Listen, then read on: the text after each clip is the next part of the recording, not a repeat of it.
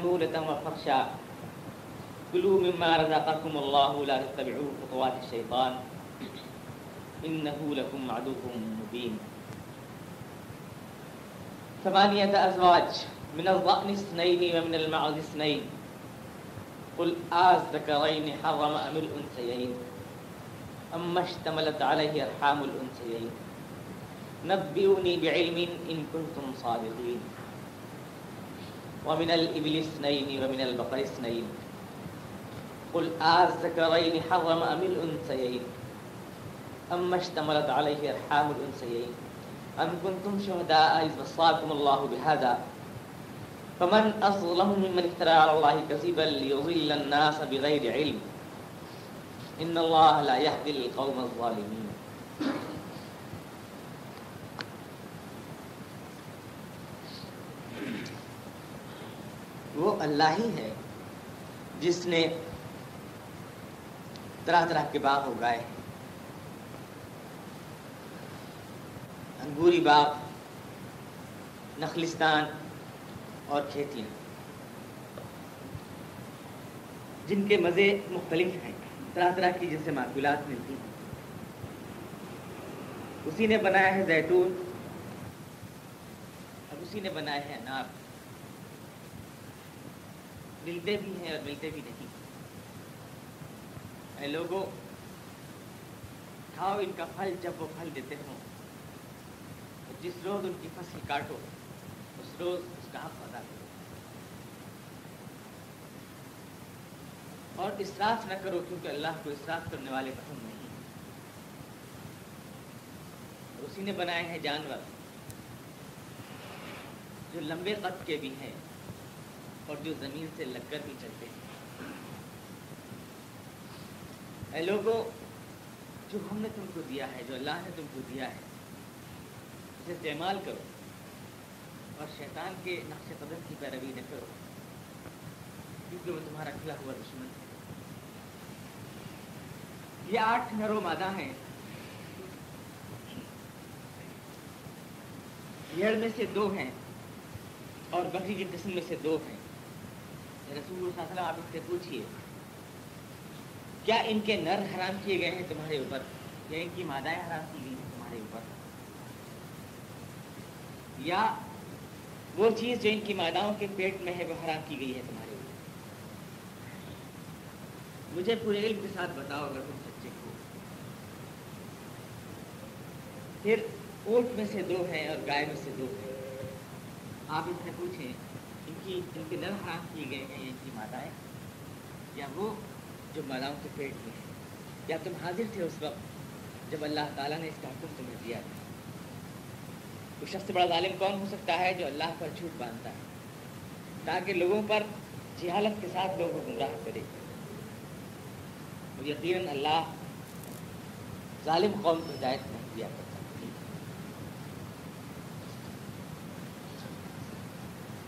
वह लजीन शाह जन्नात मारूशात वही खुदा है जिसने बनाए हैं बागात तरह तरह के बागात मारूशात वगैरह मारूशात जो सीधे खड़े भी होते हैं, जो सीधे खड़े नहीं होते। जिनकी बेलें चढ़ाई जाती हैं और जिनकी बेलें चढ़ाई नहीं जाती। इस रुकू को पूरे को समझने के लिए पिछली जो आयात है, उसका मजमून आप जहन में ताज़ा कर लीजिए। शुरू से असल में ये सूरत अब ख़त्म हो रही है। सिमट रही है। एक दो रुकू के बाद ये ख़त्म हो जाएगी।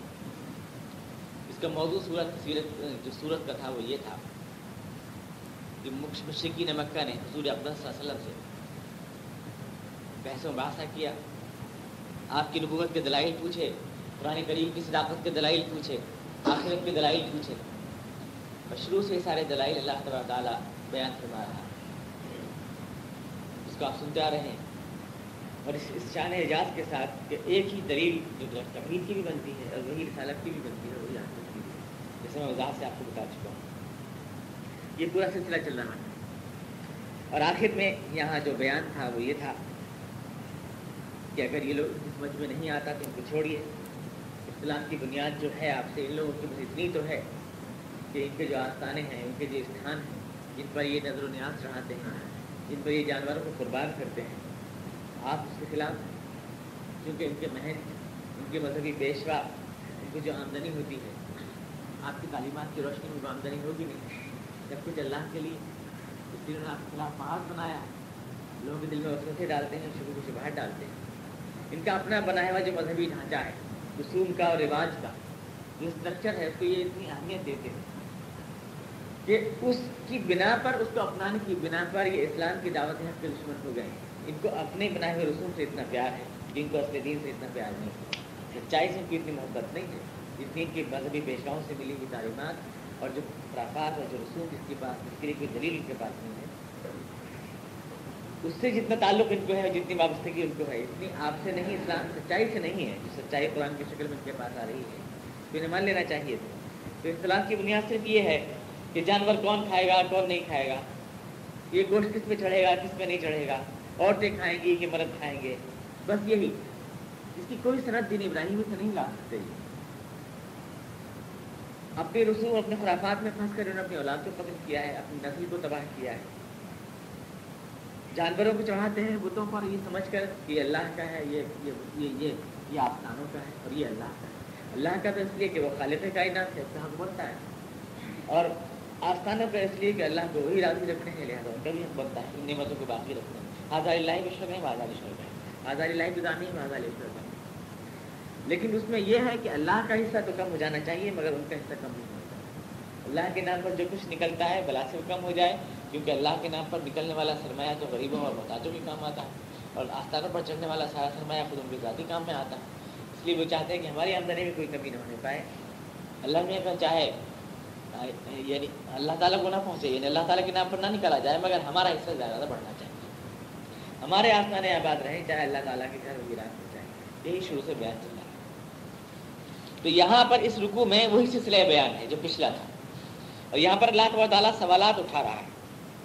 सूरज चूँकि ख़त्म हो रही है, और आखिर में हजूर अकबर से एक स्टेटमेंट है आखिर में, कि मेरी ज़िंदगी और मेरी मौत सब कुछ अल्लाह के लिए और मैंने तो ये तय किया है कि मैं अपनी पूरी ज़िंदगी अल्लाह के लिए कुर्बान करूँ और उसके दी हुए उसूलों के मुताबिक ज़िंदगी बसर करूँ और जो दिन उसने मुझे अदा किया है, उसी पर मैं अपनी ज़िंदगी गुजारूँ, क्योंकि वही मेरा खालिद व मालिक है। ये इसके बाद हजूर की जबान से कहलवाया जाएगा। और यहाँ पर अल्लाह ताला कुछ सवाल बुनियादी उठा वो फरमाता है, इस उस रुकू के अंदर के जो कायनात में सारी चीज़ें हैं, जो तनव्वु तुम देख रहे हो, हर चीज़ के अंदर, ये सब क्यों है? किस लिए? पहली बात तो ये गौर करो कि सारी चीज़ें जितनी भी हैं, दुनिया में बनी हैं, ये किसने बनाई? ज़ाहिर अल्लाह ताला ने बनाई। वही खालिद है कोई भी ये नहीं कह सकता है कि जो उसको छोड़कर तुमने सारे तलाश किए हैं, वो खालिद है। कोई भी नहीं कह सकता। बस यार यही तो कहते हैं कि हवाला शफा अल्लाह के यहाँ जाके हमारी सिफारिश करेंगे इतना ही तो कहते हो। खालिफ तो नहीं मान सकते हो। कि खालिद तो सभी दुनिया की कौमें खुद व मुशिकी मक्का जिनसे कुरान करीम खिताब कर रहा है, वो खुद मानते हैं कि सब कुछ का बनाने वाला अल्लाह दुनिया सारी सारे अल्लाह के हुक्म से पाएँगे, उसी के हुक्म से चल रही है, किसी को इससे इनकार नहीं है। वो भी जो अपने आप को मुशिक कहते हैं, उनको भी इस बात से इनकार नहीं है। तो जब ये बात काबिल तस्लीम है कि हर चीज़ अल्लाह ही बनाता है, जो कुछ भी है तो फिर शुक्र तो सिर्फ़ अल्लाह ही का होना चाहिए। शुक्र तो सिर्फ़ अल्लाह का होना चाहिए कि दूसरों का शुक्रिया कैसे? पहली बात अल्लाह ताला इसमें ये फरमाना पूरे शुक्र तो उसका होना चाहिए जिसने अदा की है सारी दूसरों का शुक्र कैसा है? दूसरों का शुक्र नहीं अदा होना चाहिए। दूसरों के लिए अगर हम दूसरों के आगे अपने सजूद न्याज लुटाएँ, दूसरों के आगे अपने जज्बात लुटाएँ और खाम खा उनका एहसान माने एहसान तो वहाँ पर अल्लाह ताला का है। बनाया तो उसने है सारी नेमतों को। एहसान दूसरों का अदा होने लगे, शुक्रिया, दूसरों का अदा होने लगे। हलवाई की दुकान पर नाराजी की फातिहा हो, ये गलत तो ये अल्लाह फरमाना कि पहली बात तो ये कि वो लजी बनाता अल्लाह है अर्श अजन्नात माबूशात, हर चीज़ को बनाता अल्लाह ताला है। लिहाजा तमाम शुक्रियों का तमाम जितनी भी शुक्रगुजारियाँ हैं, उनका मुस्तक सिर्फ़ अल्लाह की ज़ात है कोई नहीं कोई नहीं तो लिहाजा तुमने जो उसको छोड़ कर ये बना रखे हैं कि नहीं, अल्लाह में कभी और दूसरों का भी शुक्रिया है। दूसरों का किस बात के लिए शुक्रिया? वो क्यों शुक्रिया आखिर क्या देते हैं, बनाते हैं, बांटते हैं, पहुँचाते हैं? क्या है? कुछ भी तो नहीं है। क्या उनके पास कुछ ज़्यादा इख्तियार हैं? देने, दिलाने, छीनने के? कुछ भी नहीं है। तो फिर शुक्र उसका होना चाहिए इसके हाथ में सारे अख्तियार एक बात। दूसरी बात तो यह है कि फिर इन तमाम चीज़ों के बारे में जो अल्लाह ने बनाई है, हराम और हलाल के जबते भी खुदाई को बनाने चाहिए। ये तो नहीं कि दूसरे बनाएँगे। चीज़ें तो बनाए अल्लाह ताला। जानवर वो पैदा करे, फल वो पैदा करे, बागात वो पैदा करे। ये हलाल है, वो हराम ये फैसला दूसरे लोग करने लगे। इसका हक दूसरों को कैसे हो जाएगा इसका हक उसी को है जिसने बनाया है? जिसने खाने वालों को बनाया है और जिसने खाने वाली चीज़ों को बनाया है। अशिया को बनाया है, इस्तेमाल करने वालों को बनाया है। उसूल बनाने का, कवानीन बनाने का, उसी को है इसके अलावा किसी को नहीं। तो जबते उसी के होने चाहिए और उसी के चलने चाहिए। दूसरी बात अल्लाह इसमें बयान है। जिसने बनाया है, उसी के जबते होने चाहिए। शुक्र होना चाहिए, उसी का और उसी के जबते चलने चाहिए। फिर ये बात कही अल्लाह ताला ने कि हलाल और हराम क्या है? जो चीज़ें खुदा ताला ने तुम्हारे लिए बनाई हैं, खाने के लिए बनाई हैं, इस्तेमाल के लिए बनाई हैं, उन्हें इस्तेमाल करना चाहिए, उन्हें हराम क्यों कर रखा है तुम अपने ऊपर खुदा ताला ने इसलिए बनाई चीज़ें को उठा के डालिए, फेंक दी जाए सड़कें ख़त्म हो जाए गल के ख़त्म हो जाए, इसलिए बनाई है। ये ये फल इसलिए लगते हैं, ये जानवर इसलिए बनाए हैं खुदा ने तुम्हारी खिदमत के लिए। तरह तरह की अशिया, अनवा अकसाम की चीज़ें जो बनाई हैं, इसलिए बनाई है कि फेंक दी जाए, सारी की सारी, या चढ़ाओ पर जा जाकर बर्बाद कर दी जाए। हमारे इस्तेमाल के लिए बनाई है। वो पत्थर या वो दूसरे आस्थान है जिनको इनसे कोई फ़ायदा नहीं पहुँचता। लंबे लंबे खान उनके लिए सजाने से उनको फेंक देने से या खुदा की नियमतों की नाशक्री नहीं होती। ये बात अल्लाह ताला ने और फिर ये ज़मनी तौर से जिसमें इसबाक आएँगे, वो मैं आपको बताता जाऊँगा। अल्लाह ताला ने फरमाया कि जब उसका शुक्र अदा करना है तो दुनिया में हर एहसान अपने, उसके अगेंस्ट एक राइट होता है, एक फ़र्ज़ हमारे पर आयद होता है। कि अगर किसी ने हमारे पर कोई हक, कोई एहसान किया है हमारे पर तो उस एहसान के अगेंस्ट हमारे पर एक उसका फ़र्ज़ बनता है। उसके उसके लिए। उसका हक बनता है। उसको हमें अदा करना चाहिए। शायद दुनिया मानती। इस बात को। किसी ने ज़रा भी हमारे पर एहसान किया हो तो उसकी ये नहीं कि एहसान ख़त्म हो जाता है। एहसान बदले में कुछ जिम्मेदारियाँ लाता है। जिम्मेदारियाँ आयद होती हैं हमारे ऊपर। अगर खुदा ताला ने सारी चीज़ें हमारे लिए बनाई हैं तो लाजमी तौर से उसके बदले हमारे पर कुछ जिम्मेदारियाँ आयद होती हैं। वो जिम्मेदारियाँ क्या हैं? अल्लाह की वो जिम्मेदारियों को बयान करते हैं, जो हमें अदा करनी चाहिए। तो इन सारी चीज़ों को अल्लाह ताला ने इस रुको के अंदर बयान फरमाया। और फिर आखिर में फरमाया कि तुमने जो ये हलाल हराम की तकसीम की है इसके लिए तुम्हारे पास कोई ना कोई तो दलील होनी चाहिए। अकली होनी चाहिए या नकली होनी चाहिए? यानी या तो खुदाई की तरफ़ से कोई आई हुई दलील हो, वो होनी चाहिए? या फिर अपनी अपने से कोई दलील बताओ, कोई चीज़ अगर हराम है तो क्यों हराम है, क्या नुकसान पहुँचाती है तुम्हें? मुजरत रसा है, सेहत को ख़राब करती है, बात क्या है, क्यों हराम है? या फिर ये कि अल्लाह मियाँ ने हराम किया है, तुम सुन रहे थे खड़े हुए, तुम्हें हुक्म दिया था अल्लाह अकल से दलील होनी चाहिए या नकल से होनी चाहिए? खुदा ने हराम किया हो या हमारी अकल उसको गंदा और नापाक समझती हो या मुजर समझती हो, ऐसी कोई दलील तुमको देनी चाहिए? अपने आप तुमने जो तकसीमत कर रखी हैं, खुदा की हिदायत से बेनियाज होकर, ये सिर्फ़ जहालत किसी और क्या है? और ये खाली हवाला कि हमारे बुज़ुर्गों से ऐसा होता आया है? या हमारे यहाँ तो ऐसे ही होता चला आया है? और हम तो अपने बुज़ुर्गों की और आबा अजदाद की पैरवी कर रहे हैं? अल्लाह ताला फरमाया, वो गुमराह थे सफ़ी अमक थे, और सफ़ा अमक की में चला नहीं करती है। तुम्हें खुद एनालिसिस करना चाहिए, खुद तजिया करना चाहिए। जो चीज़ अकल के खिलाफ है, इल्म के खिलाफ है, खुदा की हिदायत के खिलाफ है और नकल के खिलाफ है, वो चीज़ माकूल हो नहीं सकती। ये गैर माकूल चीज़ें हैं, ये गैर माकूल रसूम हैं, जिनकी बिना पर तुमने इस्लाम से दुश्मनी मोल ली है और जिनकी बिना पर तुम्हें सच्चाई से मुँह मोल कुल बात जो कही गई है सूरत के अंदर ये कही गई बहुवल्लदी अंशा जन्नाति मारूशाती वगैरह मारूशात। वही अल्लाह है जिसने बनाए हैं सारे बागात। वो भी जो टट्टियों पर चढ़ाए जाते हैं, बेलों पर, वो भी जो नहीं चढ़ाए जाते वो जो ज़मीन पर फैलते हैं, वो भी। और जो बेलों पर चढ़ाए जाते हैं, जैसे अंगूर, पाकिस्तान जो होते हैं, वो वो वो भी खुदा बनाता है। व नखल, नखलिस्तान भी खुदा बनाता है। बस दरा खेतियाँ भी खुदा बनाता है। मुख्तलिफ़ नकुल जिनसे तरह तरह की माकूलत तुमको हासिल होती है। तरह तरह की चीज़ें तुमको हासिल होती हैं।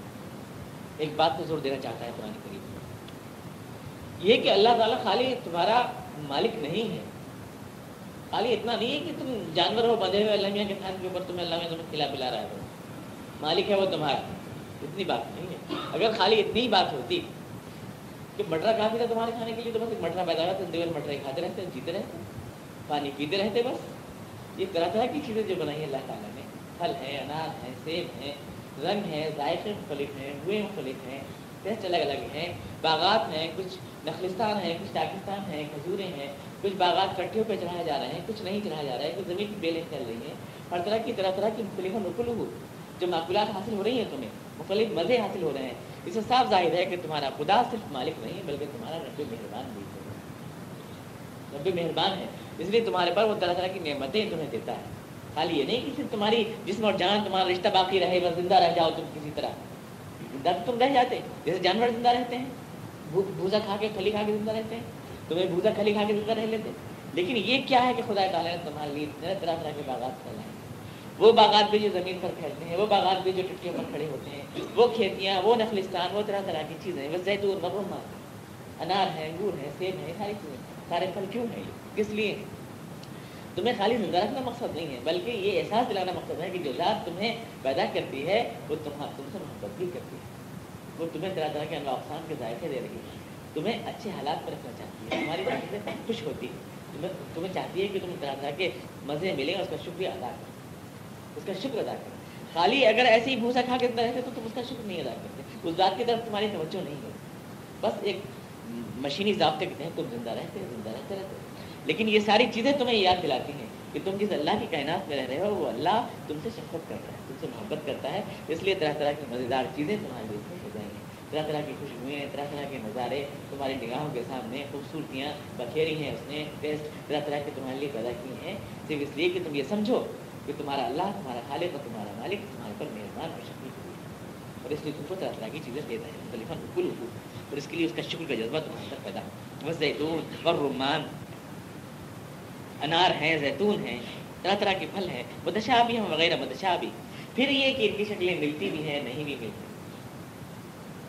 तरह तरह के नज़ारे हैं रंग रंग तरह तरह के बिखरे हुए खुदाई कायनात में सूरतें एक सी हैं, मज़े मुख्तलिफ़ हैं, मज़े एक से हैं, सूरतें मुख्तलिफ़ हैं। इतना वो जो पूरी कायनात में पाया जा रहा है, इतना वो इस बात को बता रहा है कि अल्लाह ताला तुम्हारे पर खसूसी रहमत और मेहरबानी का मामला रखता है। कुलू बिन समझ लोग खाओ उसके बनाए हुए। फल, बिन समझ ही इधर असमरा। और जब वो फल पक रहे हों, और जब वो फल फूल रहे हों तो देखो उसकी शान यानी उस वक्त तुम्हें अल्लाह ताला की शान नज़र आएगी असमर जब फल पक रहे हों। वो कड़वा फल तुम्हारे लिए रंग बदल रहा है, तुम्हारे लिए मज़े बदल रहा है। तुम्हारे काम धान की लज्जत के लिए। ताकि तुम उसे खाओ और अल्लाह का शुक्र अदा करो। कुलू बिन समर ही लोग खाओ। जैसा असमरा यही उसका शुक्रिया है कि खाओ। जो जो चीज़ें तुम्हारे लिए उसने बनाई हैं, यही उसका शुक्र है कि उसको इस्तेमाल करो। कुलू बिन समरी आसमा व आतू हक कहू यौम हसादी। मगर जिस रोज ये फ़सल काटो, उस रोज उसका हक याद अल्लाह जिसने बनाई है, जिसने सारी नियमतें दी है। इसलिए है खाओ और उसका हक याद जिसने तुम्हें दिया है। इसलिए। अगर खाली ऐसे ही मटर मटर खाते रहते तो खुदा के हक का कोई एहसास ना होता, उसके शुक्र का कोई एहसास ना होता। लेकिन जब खुदा ने इतनी चीज़ें तुम्हारे लिए बखेरी और पैदा की हैं तो जिस रोज़ इन्हें खाओ, जिस रोज़ इनकी फ़सल काटो, उस रोज़ ये याद रखो कि तुम्हें एक रुपये मेहरबान में आ आतू हक बहू उसका हक अदा जो हसाद उसके तरीके कुरान करीम में बताए गरीबों को किस तरह दिया जाए उश्र कैसे निकाला जाए निष्कोश किस तरह से निकाला जाए खेतियों में पैदावार में फलों में सारे जाते हैं लेकिन वो सारे के सारे शुक्रिया हैं अल्लाह ताला की नेमत के जब तुम्हारे पास अल्लाह ने इतना दिया है तुम्हारी ज़रूरत से जायद दिया है इतना दिया है कि तुमसे संभाले नहीं समझ रहा है तो तुम्हें उसका शुक्र यही है अल्लाह ताला को तो तुम नहीं दे सकते कोई गिफ्ट कोई हदिया कोई तोहफा जिसने तुम्हारे भाई इनामत किए हैं, बदले में तुम उसको कोई तोहफा नहीं दे सकते। हो लेकिन उसकी जो मखलूक, जो तुमसे कमतर है, उस तक अगर तुम पहुँचाते हो, वक्त तो गोया तुम अल्लाह का शुक्र अल्लाह की मखलूक को अगर तुम पहुँचाते हो तो आदू हक कहू यानी ये सारी नियमतें इस्तेमाल करने के बाद ये याद रखो कि अल्लाह ने तुम्हें दी। ये इसलिए है ताकि तुम्हें याद रहे कि दुनिया में जो कुछ देता है, अल्लाह देता है। और उसके बदले हमारे पर एक शुक्रिया आयद होता है। इसलिए नहीं कि जिस तशक्र को तुम बर्बाद करते फिरो, आस्थानों, स्थानों और बुतों के ऊपर, इसलिए नहीं। उसने दिया है, तरह तरह की नियमतें दी हैं, उसकी मेहरबानी है, उसका हक याद आतू हक वाला तुसरिफू, और बेतहाशा फजूल खर्ची ना करो। क्योंकि अगर फजूल खर्ची तुमने की बेतहाशा तो तुम गरीबों को उनका हक नहीं दे पाओ बला तुसरिफू, अगर तुमने हर चीज़ अल्ले तल्ले में खर्च कर दी अपने ही अपने ही खराजात इस कदर है अपना ही खर्चा इतना है अपनी ही अयाशियाँ इतनी हैं तो अपना ही स्टेटस जो है मेंटेन करने में सब कुछ खत्म हुआ जा रहा है जो कुछ भी खुदा ने दिया है। सारी आमदनी उसी में लगी जा रही है तो आतू हक हुआ मैं शादी को हुक्म पे अमल कैसे होगा? फिर अल्लाह का हक कैसे अदा करो फिर अल्लाह के शुक्र कैसे अदा करोगे? अगर सब कुछ अपने ही हक में इस्तेमाल कर डाला तो, तो यही होता है जो अल्लाह का हक भूल जाते हैं अपना स्टेटस उठाते हैं सिर्फ़ खुदा की बनाई हुई सारी चीज़ें उनके खलियान में जमा हो जाएँ और उसका सारा ऐश वो खुद उठा लें। उसका नतीजा ये निकलता है फिर कि उनके कुत्ते तो आसूदा रहते हैं। उनके घर में पलने वाले शिकरे और बास तो खूब पेट भर के खाते हैं। कुत्तों को भी उनके यहाँ मलाई और रबड़ी और दोस्त मिल जाते हैं, लेकिन पड़ोस में रहने वाला गरीब पड़ोसी जो है भूखा सो यही होता है। जो अपने अखराज को कंट्रोल नहीं करते मेंटेन नहीं करते हैं लातुस रिफू इस हुक्म पर अमल नहीं करते हैं तो वो अल्लाह का हक भी नहीं अदा करता। भाई, क्या करें? किसको क्या दें? हमारा अपना ही पूरा नहीं पड़ता। उनकी मंतिक तो ये होती है, उनका अपने ही पूरा नहीं पढ़ता तो किसी को क्या दें? किसी के लिए क्या अदा करेंगे? तो इन दोनों हुक्मों में जोड़ है आपस में। खुदा का वही अदा कर सकता है जो ज़िंदगी में हिसाब से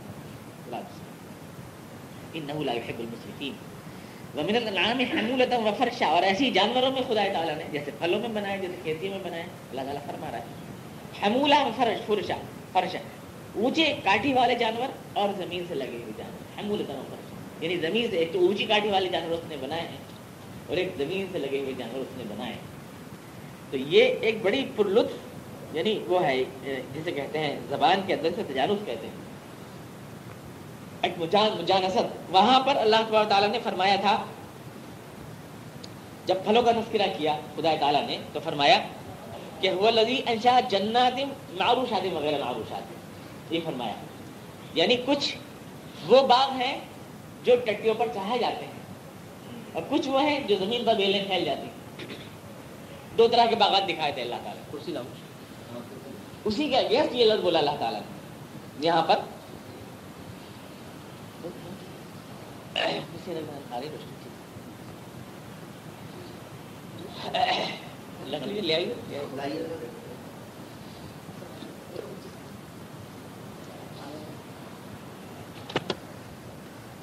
तो यहाँ इस आयत में फरमाया कि अल्लाह का हक अदा करो और इसराफ न करो। फजूल खर्ची न करो अपने अखराज में इतना इजाफा कि अल्लाह के बंदों का अदा कर सको, ऐसा नहीं होना चाहिए। अब यहाँ दूसरा इनाम बयान फरमाया कि उसने जानवर तुम्हें दिए हैं, हमूला व फरशा। वो जो ऊँची काटी के हैं और वो जो ज़मीन से लगे चलते हैं। जैसे ऊँट है, जैसे ये गाय है, ये ऊँची काटी के जो बैल है, ऊँची काटी के जानवर है, कुछ जो ज़मीन से लग के चलते हैं, जैसे भेड़। ये मुकाबले में उसके यानी कुछ तो उसने बागात दिए हैं, जो बेलों पर चढ़ाए जाते हैं और कुछ जो ज़मीन पर फैलते हैं। बेलों पर चढ़ाए जाते हैं कि अगेंस्ट में दिया हमूला, ऊँचे जानवर। और ज़मीन पर जो बेलें फैलती हैं अगेंस्ट में दिया फर्श, ज़मीन पर लगने वाले जानवर। उसके मुकाबले में लगाने जो लोग बोले, हमूला व फर्शा, वो जो बोझ उठाते हैं तुम्हारे, वो जो तुम्हारे लिए फर्श बनते हैं। फर्श बनते हैं, यानी ज़मीन से लगकर चलते हैं। या ये कि उनके ऊन से तुम फर्श बनाते हो, कंबल बनाते हो, ज़मीन के फर्श बनाते हो तो उन जानवरों को फर्श कहा जाता है। ये खुदा ने तुम्हारे एहसानात किए हैं। वहाँ आप खेतियाँ देखो, फल देखो, बागात देखो, ये जानवर देखो। कुलू में मार अल्लाह और अल्लाह के एहसान का शुक्रिया यही है कि इस्तेमाल करोगे, इस्तेमाल करो कुलू, खाओ इनको मिम्मा रजाकुमुल्लाह जो तुम्हें खुदा ने दिया। तुम्हें दिया है खुदा ने, अदा किया है फेंकने के लिए नहीं दिया। वला खुतवाद शैतान।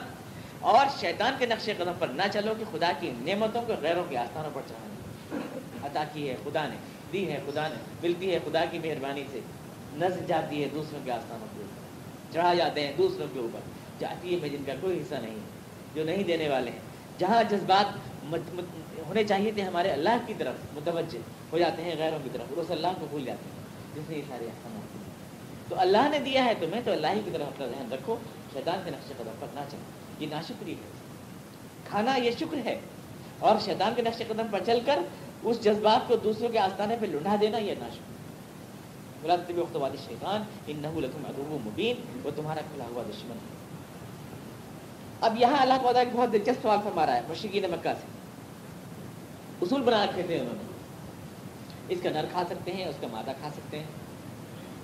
और ये चीज़ जो है, माँ के पेट में जो निकलेगा, जो नर वो मादा, वो औरत मर्द दोनों खा सकते हैं। नर ये खा सकता है, मादा वो खा सकता है। ये शर्त शर्त अपने आप बना रखी थी, अपने आप जाबते खुदा की बनाई हुई चीज़ें जाबते खुदा को बनाने चाहिए। बना रहे हैं अपने आप तो अल्लाह ताला सवाल फरमा रहा है। ये आठ हैं, जोड़े, अल्लाह ताला फरमा रहा है। समानियत दो भेड़, दो बकरियाँ। दो भेड़ों में से एक नर मादा, दो बकरियों में से एक नर मादा। आप बताएँ, रसूल से पूछें, इनमें से कौन सी चीज़ हराम है? तय करके बता दो। मर्द हराम है कि औरत हराम है? अम्मशमरत रहम जो जो या जो माँ के पेट में है, वो हराम। अजीब बात है कि जो माँ के पेट में बच्चा है, वो तो हलाल है। और जो माँ बाप है, वो हराम है। गुड़ अगर हलाल है तो फिर गुलगुलों गुलगुलों में जहर क्यों पड़ जाएगा? ये कौन सी मंतिक है? ये तुमने कौन से जबते बनाए? कैसे बेवकूफ़ी के जबते हैं? बच्चा सबके लिए हलाल है, खा सकता है। माँ हराम है या बाप हराम है? माँ किसी के लिए हराम है? किसी के लिए बाप हराम है? बच्चा सबके लिए हलाल है। ये कैसा जबता है? तो इसमें तय करके बताओ कौन सी चीज़ हलाल है, कौन सी चीज़ हराम है। अगर माँ हलाल है, माँ हराम है तो बच्चा भी हराम होना चाहिए, जो जो उसके पेट में से निकला है, फिर वो हलाल क्यों गुड़ तो हराम है और गुलगुले हलाल है। ये कौन सी मंतिक है? अब मश्त रहमल नबी उन्हीं बेलमिन हमें इल्म के साथ बताओ अपने। कोई अकली दलील, कोई इल्मी दलील, किस लिए तुमने ये जबते बनाए हैं? इसी तरह से ऊँट है, उसमें भी नरो मादा है, बकर में भी नरो मादा है, वो हराम है कि ये हराम है कि माँ के पेट में जो बच्चा है वो हराम है? क्या चीज़ हराम है? तय करके बताओ इसमें से। और अगर कोई अकली दलील तुम्हारे पास नहीं है तो कोई नकली होगी कि खुदा की हिदायत के तहत ऐसा कह रहे हो हम कुल तुम शहदा हाजा या फिर तुम वहाँ खड़े थे जब अल्लाह हलाल हराम के फैसले फरमा रहा इसलिए बस तुम सुन के आ गए, कहीं उसका रिकॉर्ड ही नहीं है। तुम खड़े थे, क्या जो तुमने ये वहाँ से सुन करके आ गए हो? अगर दीन इब्राहिमी में कहीं हलाल हराम होते तो कहीं तो लिखा हुआ होता। कहीं तो होता। लेकिन मालूम होता है कि प्राइवेट तुम ही सुनकर सीधा टेलीफोन तुम्हारे ही पास आया। तुम ही खड़े थे वहाँ पर। अल्लाह ने खास तुम्हारे ही कान में कहा था कि हलाल इसलिए उसमें कहीं रिकॉर्ड नहीं मिलता। हम कुन तुम या तुम खड़े हुए थे वहाँ पर, जब तुम्हें खुदा ने वसीयत करके भेज दिया था। एक सवाल है, यानी तुमने ये सारे जबते इतने स्ट्रिक्ट बना रखे हैं, इनके ऊपर तुम दुश्मन हुए जा रहे हो मुसलमानों के, एक पूरी आफत तुमने बर्पा कर रखी है जबतों के लिए, ऐसा जैसे कोई बहुत बड़ा दीन जो तुमको खास तौर से अलर्ट किया गया है, अब किसी को दलील भी है, अकली है या इल्मी या कुछ भी। फमन उससे बड़ा जालिम कौन होगा जो अल्लाह के ऊपर झूठे कवानीन जोड़ता है, अल्लाह की तरफ़ मनसूख करता है, ताकि लोगों को गुमराह करे जहालत की वजह से, बगैर इन अल्लाहमीन यकीन खुदा जालिमों को हिदायत नहीं दिया करता है। जालिम वो भी जो अल्लाह की हिदायत से बेनियाज होकर दूसरों को गुमराह कर रहे हैं।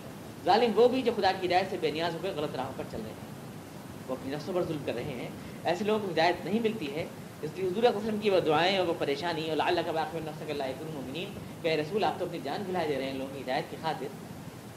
मस्क हो चुकी इनकी अब ठप हो गए इनके दिलो दिमाग। ये लोग जो रसूम बेजा रसूम और खुराफात को दीन समझ बैठे, सारे जज्बात उनसे वाबस्ता कर लिए और कोई हक बात इनके दिमाग में नहीं आती। लड़े लड़े मरे जा रहे हैं। हमारे बुज़ुर्गों की इज़्ज़त का सवाल है। हमारे आबाजात से मिली हुई तालीमत का सवाल है। खाली यही दलील है और कोई दलील नहीं है। या फिर पूछते थे कि ये सब तुम क्यों कर रहे हो? तो एक बहुत बड़ी दलील जो थी, वो ये थी लोशा अल्लाह माशक वाला अबाउना वाला हरमना ये दलील दिया करते थे अगर अल्लाह नहीं चाहता, अगर अल्लाह की मशीयत ना होती तो हमारे आबाजात शिर कर सकते थे क्या? और हमारे आबाजात गलत फैसले कर सकते थे क्या? और किसी चीज़ को उसकी मर्ज़ी के बगैर हराम कर सकते थे क्या वो?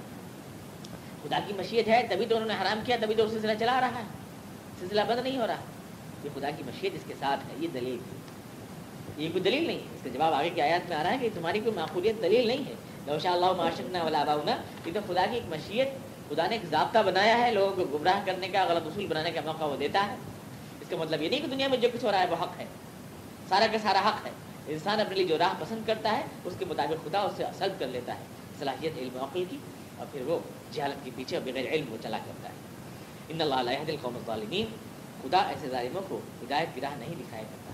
हजूर वसलम को गोया कि मुतनबे कर दिया गया कि इनके लिए जो दुआएँ और जो शफेदारियाँ आप कर रहे हैं, और जो आप परेशान हैं, और जो इनकी मुखालफतों से आप आजिज़ हैं, कोई परवाह ना कीजिए। किसी किस्म की इनके पास कोई इल्मी और अपनी दलील है नहीं। वह वलजी शाह जन्नात मारूशात। वही खुदा है, सिर्फ़ वही खुदा, जिसने बागात बनाए हैं, जो चढ़ाए जाते हैं ऊपर, बेलों पर वगैरह मारूशात और वो जो ज़मीन पर फैल जाते हैं। व नखल और जिसने बनाए हैं नखलिस्तान व ज़रा और उसी ने बनाई हैं खेतियाँ, मुख्तलिफन उकलू तरह तरह के, तरह तरह की रोजियाँ तुमको मिलती हैं, तरह तरह के खाने और माकूलात मिलते हैं तुम्हें, उन, इन चीज़ों के ज़रिए। बस जैतून, उसी ने बनाया है जैतून के फल और रुमान उसी ने बनाया है अनार का फल। मुतशाबियम वगैरह मुतशाबी, सारी वो चीज़ें जो मिलती भी हैं और जो जुदा जुदा भी रंग में मिलती हैं, मज़े में जुदा जुदा हो जाती हैं, सूरत में मिलती हैं, उनके मज़े अलग अलग हो जाते हैं। सब उसी ने बनाए। गुलू में समरी असमर। खाओ इनकी पैदावार जब ये भले भूले। लोग खाओ, अल्लाह का दिया हुआ जो सबने अदा किया है। बला खुदवाली शैतान। और शैतान के नक्शे कदम पर न चलो। अल्लाह ताला खाने को मना नहीं फरमा रहा है। खाइए इस्तेमाल कीजिए कुलू बल्कि हुक्म दे रहा है। यही उसकी शुक्रगुजारी है। ये नहीं कि भूखे मर रहे हैं, खा नहीं रहे, पी रहे हैं और लगा से खुश हो रहा है। ये पुरानी करीब में कहीं भी नहीं कहा गया है। कुलू वशरबू वलातु शरीफू की शर्त लगाई बस। ये इंसाफ न करो फजूल खर्ची न करो। मैं एतदाल एतदाल का मतलब ये है, चीज़ें इस्तेमाल करो। अल्लाह की बनाई हुई चीज़ें इस्तेमाल करो। और ये चीज़ के साथ अल्लाह ने जो चीज़ें दी हैं, उन्हें इस्तेमाल न करो। ये तकवा है। तो ऐसे लोगों को तो दोनों आँखें भी इस्तेमाल नहीं करनी चाहिए। एक आँख से देखना चाहिए, क्योंकि दो आँखें भी फजूल खर्ची हो जाएँगी उनके नज़दीक कि दो दो आँखें दो कान क्यों बनाए? एक कान सुनने के लिए काफ़ी है और एक आँख देखने के लिए काफ़ी है। तो इसको फाया चिपका के रखना चाहिए और कान में रुई ठूस रखनी चाहिए। तो खुदा खुदावंद कुदूस ने कहीं भी नहीं फरमाया कि आप इस्तेमाल ना करें। बार बार दो दफ़ा, तीन दफ़ा इन आयात में, खाओ खाओ, इस्तेमाल करो इस्तेमाल करो। ये सर शुक्रिया शुक्रिया यही है। लेकिन ये हद नहीं। इसका ये मतलब नहीं कि इस कदर कि दूसरे बंदगान खुदा के हुकूम भूल जाओ और अल्लाह के हुकूम वही ज़िंदगी का मकसद बन जाए तुम्हारा। तो कुलू में मारा था अल्लाह। खा वो जो जिस खुदा ने तुमको दिया है लालच से बेवकूफ़ शैतान और शैतान बिना से बड़ा करना चलो यकीन वो तुम्हारा अच्छा हुआ दुश्मन थे समानियत अजवाज ये आठ नरो मादा होते हैं मुस्किन दो भेड़ों के, दो बकरियों के। कुल आज तक और इससे पूछिए रसूलम आखिर इनके नर हलाल है कि इनके मादाएँ हलाल हैं कि जो माँ के पेट में है वो हलाल क्या चीज़ हराम है और क्या चीज़ हलाल नर हलाल है, नर हराम है, कि मादाएँ हराम है, कि जो माँ के पेट में है वो हराम। नबी ऊनी वे मुझे इस बात का जवाब पूरे इल्म के साथ दो, इल्म अगर तो अपने दावे में। नहीं और इसी तरह की ऊँटनों ऊँटनों ऊँट में दो जो है नर और मादा। ऊँट और ऊँट नहीं। बकर नहीं गाय में दो हैं, बैल और गाय। कुल आज तक करेंगे हराम अगलो से ये इनसे पूछो कि इसका नर हला हराम है कि इनकी मादाएँ हराम है? या जो माँ के पेट में हराम है? क्या हराम है? तय करके बताएँ कुछ नहीं इन सारी चीज़ों में क्या क्या हलाल, क्या क्या हराम मुझे इतना लंबा जाब्ता बना रखा है, ये हलाल, वो हराम हलाल हराम। अनकुन तुम शहदा अल्लाह बिहाजा या तुम खड़े थे उस वक्त जब अल्लाह ताला तुम्हें ये फैसला सुना रहा था, ये हलाल और हराम। इसकी दुनिया सुन सके और कोई नहीं फमन असलम उससे बड़ा गालिब कौन हो सकता है जो अल्लाह के ऊपर झूठ बांधता है? झूठी तालीमत की तरफ़ महसूस करता है, ताकि लोगों को जियारत की से गुमराह करे। इन अल्लाह और यकीन अल्लाह ऐसे तालीमों को जायज कर दिया सवाल अगर आप करना चाहें